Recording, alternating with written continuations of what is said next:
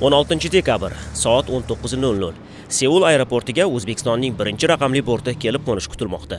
Qizilgilam yo'laklari, shay holga keltirilgan samolyot trapi, poson kiyingan tarixiy kiyimlardagi faxriy qorovul askarlari. Xullas, Janubiy Koreya poytaxtining harbiy havo kuchlari aeroporti O'zbekiston rahbarini qarshi olishga tayyor. Oliy martabali mehmonni hech qanday kamchiliklarsiz risoladagidek kutib olish uchun mezbon tomoni kichik detallarni ham e'tibordan chetda qoldirmaslikka harakat qilmoqda. Askarlar me'yoriy masofani saqlasalar, kortej joylashuvi ipga tizilgan marjon kabi bir-biriga uyg'un. Artilleriyachilar esa otilayotgan har bir to'p oralig'idagi vaqt o'lchovida adashmaslikka harakat qiladilar. Aytgancha, artilleriya va undan otiladigan 21 ta to'p bu Janubiy Koreyaga davlat tashrifi bilan keladigan mamlakatlar rahbarlarini kutib olishdagi amallardan biri.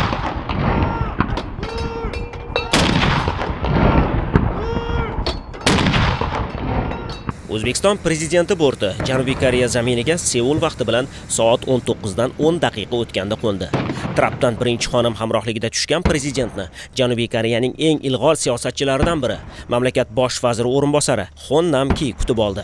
Qisqa muloqotda Shavkat Mirziyoyev bosh vazir o'rinbosariga O'zbekiston Janubiy Koreya munosabatlari kelajagi qanday bo'lishi kerakligi yuzasidan o'z qarashlarini aytdi. Suhbat davom etar ekan, xavfsizlik xizmati avtomobil eshigini ochiq holatda ushlab turdi. Muloqotni yakunlagach, prezident mashina tomon yurdi, lekin darhol unga o'tirmadi. Ya'ni davlat rahbari dastlab birinchi xonim avtomobilga chiqishini kutdi.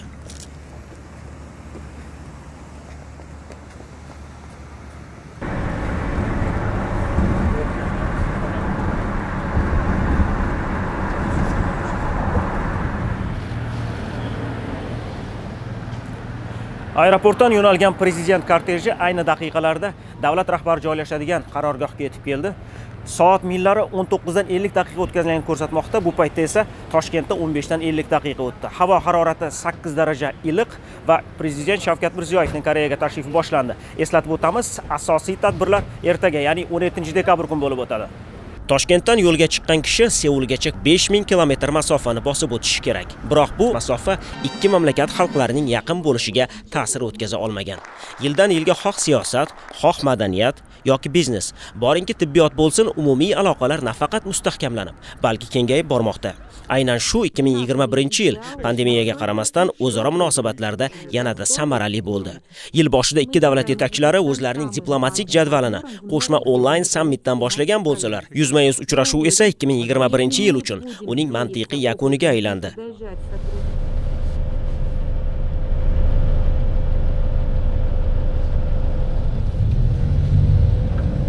Washington, Moskva, Tokio, Shanxay, Baku, Ashxobod singari dunyo kentlari va mamlakatimizning qator shaharlari. Ha, aynan ularda G'azal mulkining sultoni Ulug' Hazrat Alisher Navoiyga atab bunyod qilingan haykallar bor. Endi ular haqida gapirganda Janubiy Koreya poytaxti Seul shahri ham tilga olinadi. Seulning Socho tumanida Hazrat Alisher Navoiyga atab haykal bunyod etildi. Ta'kidlash kerak, bu eng qimmat va nufuzli hududlardan biri hisoblanib, 1 kvadrat metr yer narxi 500 ming dollar atrofida baholanadi. Hazrat Alisher Navoiy haykali joylashgan bog' 25 kvadrat metrdan iborat, haykalning o'zi esa 1,5 metr kvadratda joylashgan. Buyuk Alisher Navoiy haqida gapirganda turkiy tillar, xususan o'zbek tili haqida to'xtalmaslikning iloji yo'q. To'xtalishning ma'nosi shuki, Koreyaning eng oldi xususiy oliy ta'lim muassasalaridan biri Hanguk chet tillar universitetida bugun o'zbek tili ham o'rgatiladi. Xalqimizning til bilgan el bilar degan naqli bejiz ishlatilmagan. Umuman dunyo xalqlari doimo xorijiy tillarni o'rganishga qiziqib keladi. Biz hozir Koreya Respublikasining aynan mana shunday dargohlaridan biridamiz. Hanguk chet tillar universiteti. Bu yerda 27 mingdan ortiq talaba tahsil oladi va 45 ta til o'rgatiladi. Biz hozir universitetning Yongin shahridagi e, kampusiga keldik. Bu yerda Markaziy Osiyo kafedrasida o'zbek tili ham o'rgatiladi. Andijon universitetiga xush kelibsiz. Mening Sunbibihunim Amir Timurning suyukli rafiqasining rafiqasi ismi. O'zbek tilidan tashqari boshqa xorijiy tillarni ham bilasizlarmi? Menimcha ingliz tili bilaman, lekin o'zbekcha o'zbek tili yaxshiroq. O'zlarining o'zbekcha ismlariga ham ancha ko'nikib qolgan koreys talabalari aynan ushbu yo'l bilan o'zbek madaniyatiga yaqinlashuvni tezlashtirish mumkin deb hisoblaydilar. Asarxon o'zbekistonga siz hali bormagansiz lekin o'zbekistonga borgingiz va u yerda yashagingiz keladimi? Ha albatta men mazali ovqatni yemoqchiman va o, magic city degan o, nima bo'ri aytdi aha O, shuning uchun men unga a, uyga U yerga. bormoqchiman ikki ming yigirma birinchi yilning o'zini oladigan bo'lsak o'ttiz to'rtta kafedra orasida markaziy osiyo kafedrasida o'qishga talabgorlarning soni boshqa kafedralardan ko'ra ancha ko'p bo'ldi bir o'ringa to'qqiz kishi to'g'ri keldi tashrifning rasmiy dasturini prezident seuldagi milliy qabristonga tashrifdan boshladi.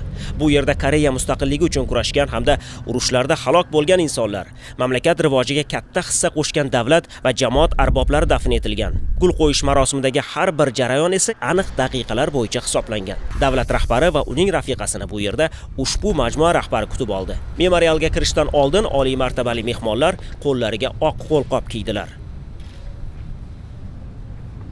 Ushbu marosimning o'ziga xos jihatlaridan biri bu yerga mehmonlar xotira va hurmat belgisi sifatida faqatgina gulchambar qo'yibgina qolmasdan, balki xushbo'y hid taratuvchi aromatik modda ham yoqadilar.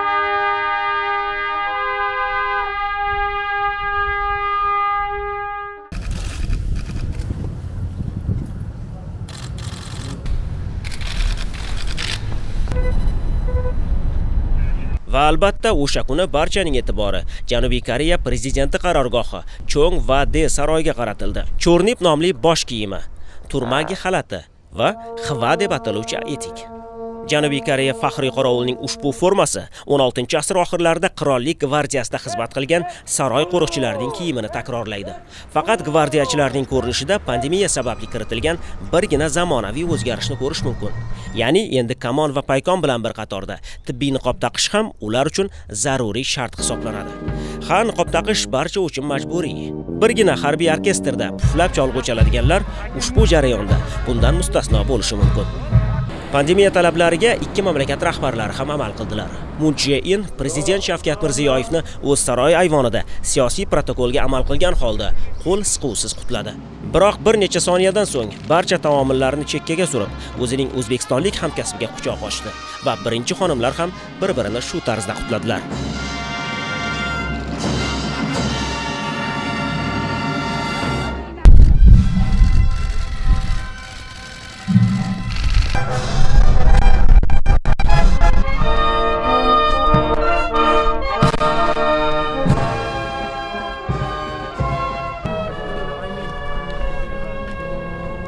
Thank you.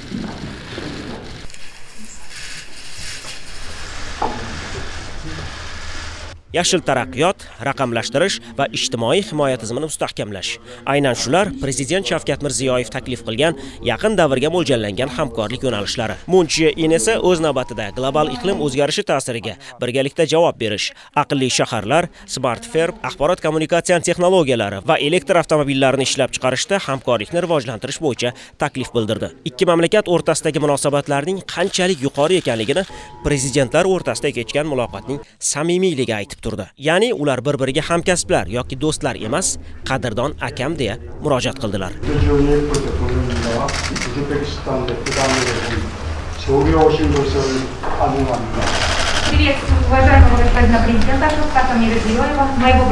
И всех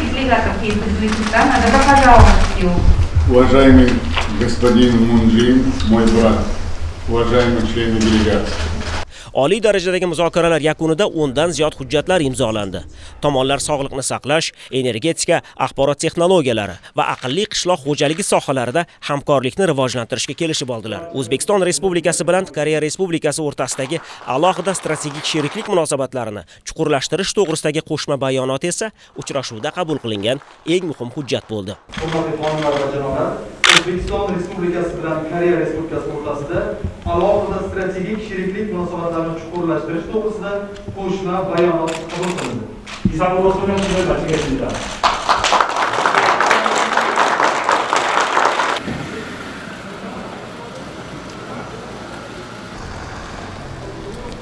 Koreya respublikasi milliy assambleyasi seulning eng xushmanzara joylaridan biri yoida orolida joylashgan. 1975 yilda qurilgan parlament binosi 24 ta ustundan iborat va ular oq marmar bilan qoplangan. Bu yerga tashrif buyurgan oliy martabali mehmonni dastlab ikki mamlakat bayroqlari qarshi oldi. O'zbekiston prezidentining janubiy koreya parlamentida qanchalik kutilgan mehmon ekanligini milliy assambleya spikerining samimiyatidan ham anglash mumkin. Рад видеть вас, господин. 만나뵙게 되어서 반갑습니다, 의장님. Я выполнил свое обещание. 제 약속 지켰습니다, 의장님. 곧 오시기를 고대하고 있었습니다. Я очень ждал вас. Я тоже очень хотел с вами встретиться, очень приятно.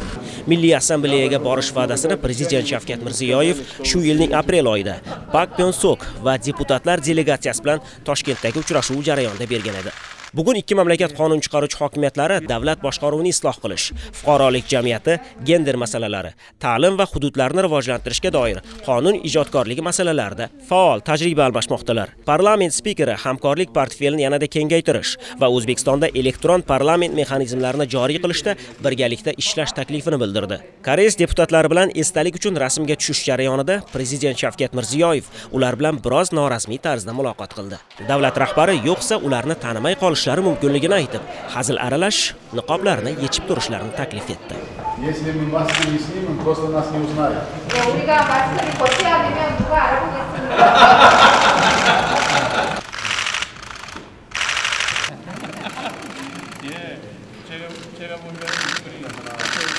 Milliardlab dollarlar kapitalizatsiyasi, 10 minglab yangi ish o'rinlari va dunyo bo'ylab minglab vakolatxona ofislari. posko Samsung, Kia Motors singari qator biznes doiralari vakillari O'zbekiston prezidenti bilan yuzma-yuz muloqot qilish uchun bu yerga jam bo'ldilar.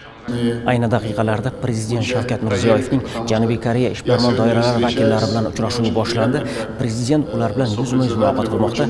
Agar ma'lumot o'rnida aytib o'tadigan bo'lsak, bunday tadbirlar 2017-yilgi tashrif doirasida ham bo'lib o'tgan. 2019 yilda esa Janubiy Koreya prezidenti O'zbekistonga javob tashrif bilan borganda ham prezidentlar biznes doira vakillari bilan uchrashgan. Demak, hisob bo'yicha bu davlatimiz rahbarining Koreya biznesmenlari bilan uchinchi bor uchrashuvi. Ha, Janubiy Koreya O'zbekistonga investitsiya kiritishdan manfaatdor. Mamlakatimiz iqtisodiyotiga yo'naltirilgan sarmoyalar hajmi bugun 7 milliard dollardan oshdi. Shu yilning o'zida O'zbekiston iqtisodiyotiga 320 million dollar o'zlashtirildi. Bu esa 2020-yilga nisbatan 20% ko'p degani. Bu yerga yig'ilganlarning kayfiyatidan anglash mumkinki, bu raqamlar hali yanada oshib boradi. 5 milliard dollardan ortiq 40 ta yangi loyihani amalga oshirish ham ushbu uchrashuvning natijalaridan biri bo'ldi. Prezident Shavkat Mirziyoyev Koreya ishbilarmonlariga murojaatini juda sodda va tushunarli ifodalar bilan yetkazdi. Вы должны быть уверены, что правительство Узбекистана и президент сегодня на этом круглом столе не зря, чтобы слышать голоса предпринимателей, создать условия для предпринимателей, чтобы им было комфортно, я еще раз повторяю, безопасно в Узбекистане.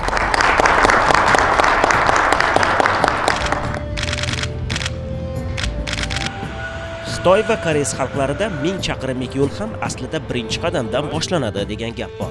Shu ma'noda prezident Shavkat Mirziyoyevning Janubiy Koreyaga ushbu davlat tashrifi ikki mamlakat o'rtasidagi munosabatlarni yuksak darajaga olib chiqib, do'stlik rishtalarini mustahkamlash va ikki xalqni yanada yaqinlashtirishga xizmat qiladigan yana bir muhim qadam bo'ldi.